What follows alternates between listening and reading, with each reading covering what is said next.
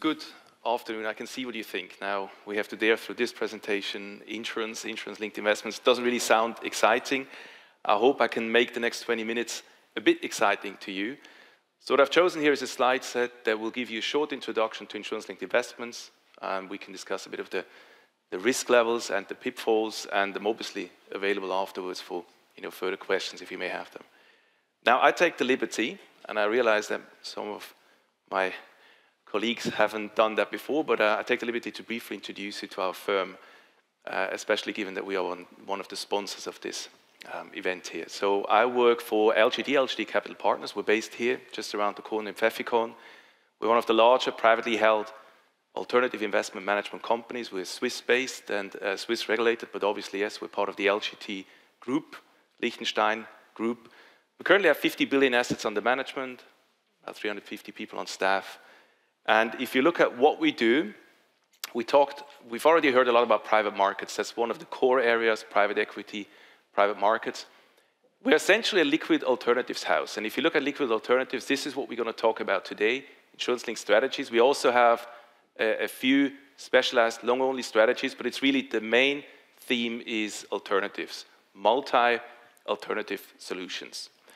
And if you look at insurance-linked investments, what is it really all about? If you look at this asset class and the performance of the asset class over the last 10 years, and that's what this chart should show us. So we have three strategies, the blue strategies, and we compare the performance against other indices, equities, corporate bonds, government bonds, and in, interesting enough, insurance equities. And what you can see is that apparently performance seems to be okay, maybe attractive, depending on how you look at it. You can also see that there are some sort of breaks here when you've actually lost money. But I think the key element is, first of all, if you lose money, it's always linked to an actual insurance event, an actual CAT event. And you can see that the worst event for us was the 2011 Tohoku earthquake. This is when we've lost between 3 and 6% of our asset base as a result of this event. What you can also see is that during the financial market crisis, however, we have seen a somewhat stable return, and that's exactly the idea of this asset class. If you invest in insurance-linked investments, you make money if there is no insurance event.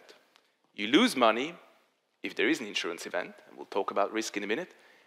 But what will not affect your investment is any other movement in financial markets because you're not linked to movements in financial markets. You're linked to the occurrence probability of CAT events. So what it sort of offers you ultimately is a very low correlation of returns to, well, other areas of in sort of financial markets activities. If you look at this, we've done a correlation analysis. If you look at insurance-linked investments, you compare it against govies, corporates, equities, you can see that, in fact, correlation is very low. And it makes sense, right? It makes sense. You lose money if there's a CAT event, and if there is no CAT event, you make money. It's as simple as that, but there's obviously a lot of risk involved in insurance-linked investments. Now, if we look at what we actually do when we invest in insurance-linked investments, we unfortunately have to start at a very early stage. We have to look at the regulatory environment. What I've done here is I've drawn up a sample insurance company. This insurance company is active in the US and is active in certain states in the US and is selling homeowners insurance to either private individuals who own a house, but also to corporates that run a factory, run a warehouse, a supermarket. And every dot here depicts one location in this portfolio that this insurance company is sort of maintaining. So each location is an individual company that has a policy with this sample insurance company. If you now add up the insured values for each of these dots, you end up, in my sample case here, at around $130 billion. So in essence, this insurance company is promising to all of these people and individuals and companies to pay up to a total of $130 billion if something happens to their home, house, factory. So how much money does this company need to hold in order to run their business? Today it would be about $5 billion. So you have $5 billion and you can promise payments of up to $128 billion. That's quite a leverage, that's quite a leverage factor. And the obvious question is why five? Why not 10, 50, 100? Why not 128? And the answer is very simple. what is the worst that can happen on this portfolio? Well, I can tell you, over the last 20 years, the worst event that we have seen would have been Hurricane Katrina. This is the storm track of Hurricane Katrina. It sort of glided over North Florida. It was still a bit of a, only just a tropical storm. And then very warm temperature in the Gulf of Mexico. It accelerated and it was a Cat 4, Cat 5 hurricane, and then ultimately hit as a Cat 4 hurricane in New Orleans. We've all seen the pictures, we all know what happened there. If you now look at the portfolio of the sample insurance company, you can see, well, we've had a bit of event activity here in North Florida, and then obviously here, this was very bad. But this is it, right? So nothing happened in Texas, nothing happened in the Northeast region. It was just this area, and that's the worst event. So if you look at this, then you start to understand why this insurance company can run their business with only rather sort of low level of equity. Now, if you look at the regulatory requirements, and that's especially now interesting, I don't know whether you're aware of this, but on the 1st of January 2016 in Europe, we have now moved into the new Solvency II framework. We've already heard it has impact on the asset side of insurance company. We look at the liability side of insurance companies. So if you look at this sample insurance company again, how does the regulator assess the capital requirements? Well, they would look at a sample testing, stress testing on individual events, and then ultimately assess the regulatory capital requirements. If you go back 100 years, or rather 115 years now, the worst event that this company would have seen was the Great Miami Cat 4 hurricane, 1926. Hurricanes didn't have fancy name in those days. It was a straight Cat 4 hurricane that hit Miami. If this would happen today, so it's an actual event. If this event would occur today again, the insurance industry would lose about $115 billion. So this is how much money the insurance industry as a whole would lose if this event would occur. If you compare this to 2005, Katrina, there was two other events, Rita and Wilma in the same year. Total payoff was 60 billion. Katrina alone was 40 billion, so we're looking at an event that is three times the magnitude of Hurricane Katrina. And that's the worst that can happen. So what the regulator does ultimately is consumer protection, right? Regulator has to ensure that that insurance company is able to pay out if there is an extreme event scenario. The last thing you want is call up your insurance company if you have an event, and the insurance company tell you, well, we have a bit of a cash flow problem right now, we would want to pay a bit later. You don't expect that, right? And rightfully so, because the regulator has to ensure that this insurance company is holding on to a sufficient level of capital. So this is how today an insurance company would be sort of capitalized. Well, let's look at that in a minute. But the long-term average would be obviously borne by the net premium income, including, well, cost of capital, including the return expectations, including all cost levels. So that's the net premium income. And then there's a capital requirement. In today's world, the capital requirement will go up to about the 1 in 200, 1 in 250 years scenario, so about 99.6% T-VAR. Above that, believe it or not, there is no further capital requirement. If you look at a company like Allianz today, they are capitalized up to the 1 in 1,000 years event. Why? They don't need to. Well, they have a bit of a different approach, right? They are Allianz. They want to be there to support their clients beyond sort of the worst that can expect. But I can assure you that many other companies are just capitalized to this red line here and not a dollar more because they don't need to. So the next question is, how do you organize this capital? Because let's face it, holding on to capital, this section up here, for events that are occurring once in 100, once in 200 years, that is highly inefficient to use your equity capital to run and to capitalize this bit here. Equity investors would expect what, 15 to 20, 25% in return. Up here, with a probability of occurrence of 1 to 2%, using your equity is highly inefficient. And that's exactly where we come into play. So in today's world, this is how a, an insurance company is trying to finance themselves, try to capitalize themselves. They would use still the net premium income to pay for the long-term loss. They would use their actual equity for the more frequent, sort of more volatile bit. This is where you are seeing losses, but it's also where you can retain the highest level of return. And then you start to back yourself up. You buy a hedge against the extreme event. You can either do this through, well, traditional reinsurance, that's what the Swiss Re's of the world do, but you can also approach the capital market. You can approach you. I can buy protection either in the form of a cat bond, so that's a security, structured as a liquid security, or in the form of a private deal, which is called collateralized reinsurance, or CRI. And now it's easy, you can see. If you participate on this deal here, you would lose your money, well, only if an event like this would occur. So Hurricane Katrina doesn't affect you, right? Andrew was one of the early 90 storms here, doesn't affect you. Only this event here. So, low risk of losing money, and obviously, rather low return level up here. As you move down this tower, the risk of losing money increases, and hence your return expectations will increase. So, as an investor in insurance linked investments, the first and most important step is you have to decide when you would want to lose money and how much money you can afford to lose. So, your risk appetite, ultimately, it's what you have to determine yourself. And as you move further down, you increase the level of return, but you increase the risk level. Now, two considerations here. First of all, you can see that the self-retention or the equity has to go up the whole tower. So at any given point in time, the actual insurance company needs to actually retain risk. It's a prerequisite also from the regulator.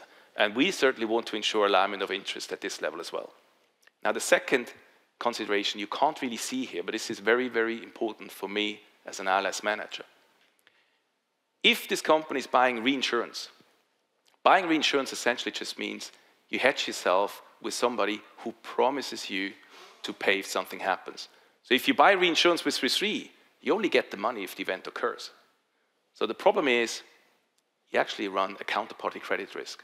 And the regulator is looking at this, and especially now with Solvency II, again, kicked in on the 1st of January 16, your additional charge for this counterparty credit risk is significant.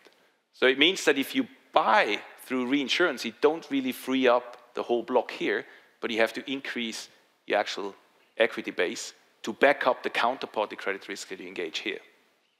If you buy in the capital market through a cat bond or collateralized reinsurance, you do not engage into counterparty credit risk because the money that you get if the event occurs has to be put into a trust account and has to be available if the event occurs. So the regulator will acknowledge this level of protection here and will grant you a full capital relief. That's the big change that we see with Solvency II and will have a very big impact onto our market because we'd expect this dark gray part here ultimately to be replaced with capital market transactions. So this is insurance-linked investments. And now, we've already seen it, you have two ways of investing. You can either invest in a cat bond, which is a security, tradable security, or you can invest in private deals. So my job as a fund manager is to engage into private transactions with Allianz, AXA, Generali, and to structure deals and to ultimately invest the money that I've been given by my investors in turn. Now you may wonder, so cat bonds, these transactions are liquid. That sounds quite attractive. Why is this market smaller than the market for collateralized reinsurance, than the private market? And the answer is simple. Structuring a cat bond is expensive. If you're Allianz and you decide, well, let's just do a cat bond, you would have to approach an investment bank. The investment bank will structure the deal, will distribute the deal. They will appoint external legal counsel, awfully expensive. They will also consult with an external modeling agency to assess the risk level of this transaction. And very often these transactions are rated. So you have five elements of cost. Total cost is approximately six to eight hundred thousand dollars flat. So whatever you pay to investors, you still have to add the additional cost. If you do a private deal, there is no further cost. Each parties structure the deal, model the deal, do their own legal review, and then ultimately the deal gets done. That's one element, cost, which leads to the second issue, the bigger issue, time to market. If you're Allianz and you do one of these deals, you try to do a big deal. We're talking $300 million, 400 million, or euros, because you want to offset the fixed cost, right? And the deal should then last two, three years. Again, you want to offset the fixed cost. So now you can see what happens. This will be part of your capital structure. You will have to obtain board approval to get such a deal done. And we all know what that means. So you have to do an internal project. You have to do a business case. You have to approach the board. You have to get sign off for that. We're talking six to eight months. For this deal, that's part of your mandate. If you're the reinsurance guy, typically allocated to the CFO office, doing one of these deals is your mandate. So you can come to Pfäffikon, we go to Munich, we sit together, we get the deal done. It's a matter of a week or two weeks. So now you can see why this market here is rather small, and this is really, this is the growing market. And if we talk about growing market, so how big is this market and how big can it be? Well, it's a niche market. It's a niche market and it will remain a niche market. If you look at today's market estimate, the overall market is about $400 billion in size. Now, what do I mean if I say the overall market? Well, this is the global market for catastrophe risk capacity. Or in other terms, that's the money, the amount of money that is missing on the balance sheets of insurance companies. That's the amount of money that insurance companies are buying externally in order to meet their regulatory capital requirements. Out of that, only a small fraction is currently really transacted with you, with financial market investors. Part of it is cat bonds, part of it is these collateralized transactions. Overall, we're talking about 75 billion out of the 400. The only thing is, first of all, the market will grow. The 400 billion will grow. Construction activity, higher penetration in developing markets, there will be more demand for cat capacity. But more importantly, the fraction that is transacted with capital markets will grow massively. The current prediction is that this will triple in size over the next four years as a result of the new solvency regime, Solvency II. So it is, in fact, a growing market. However, again, if you look at the overall numbers, it will still remain a niche market. Now, what risks are you exposed to? And that's sort of the last topic I need to discuss with you. Unfortunately, yes, you will be heavily skewed to about three or four key event risks. The first one clearly being US wind and US quake, European wind, a bit of quake, and Japan wind and quakes. That's about it. So you can diversify away with a bit of Australia, a bit of Canada, but ultimately, these are the key regions because this is where the high values reside. This is where the protection is needed. Cat 4 hurricane to Miami, a, an extreme windstorm like Lothar Martin to continental Europe, or the big Tokyo earthquake. Is, these are the biblical events that need to be backed up. So you will be, even though you can diversify within these events, you will still be facing 20, 30, 40% of actual event exposure. And the next thing that you have to keep in mind is you have to decide how much risk you want to take. Now, risk in our world is defined as what we call the expected loss. It simply means the occurrence probability of the event that will wipe out your investment, because every single investment is a capital at risk investment. And if the event occurs, the entire money is gone. So now you can see that it's important to run a diversified portfolio of individual events, because again, these events will occur. So the question is, how much money do you dare to lose if an individual event occurs? Every dot here depicts a transaction. This is the risk level of a transaction, and that's the return level of a transaction.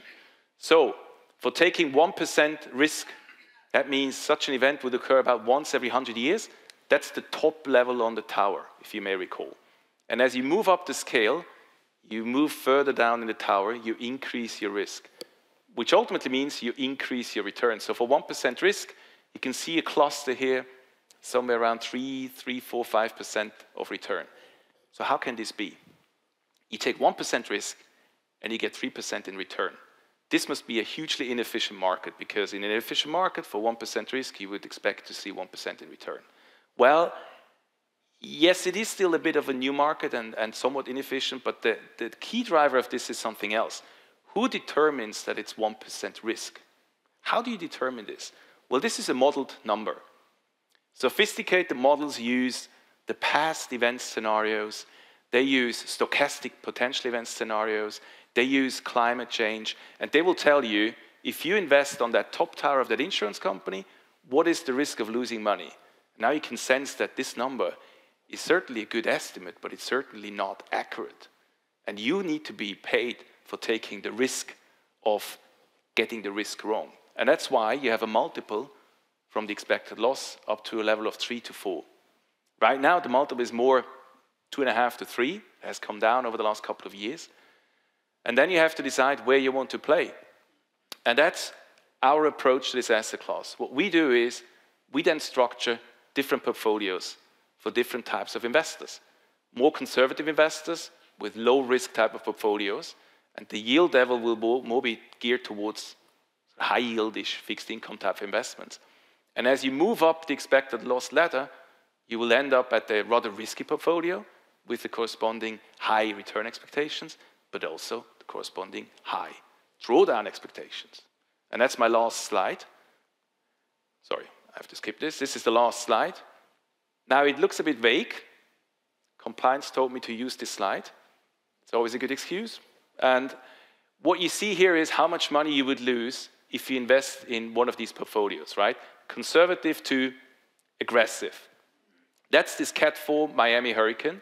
So you can see you'd be losing somewhere around 20 to 25 percent if this event would occur, depending on the type of portfolio that you take.